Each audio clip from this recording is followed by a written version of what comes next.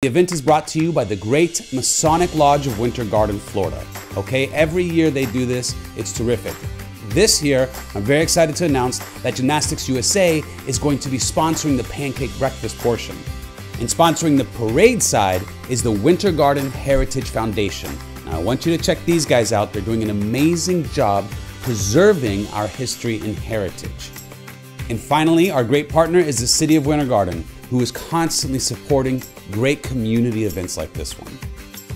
It is time for our community to return to normalcy. And what a better opportunity than on Independence Day with free pancakes for the kids and a great traditional parade. Now, also below is a link to the Winter Garden app.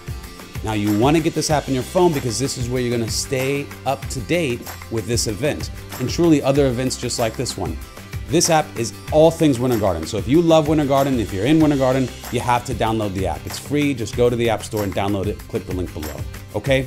So, Winter Garden, happy Independence Day. I'm going to see you downtown at the Masonic Lodge this Independence Day as early as 8 a.m. for free pancakes for the kids. Winter Garden, we're back.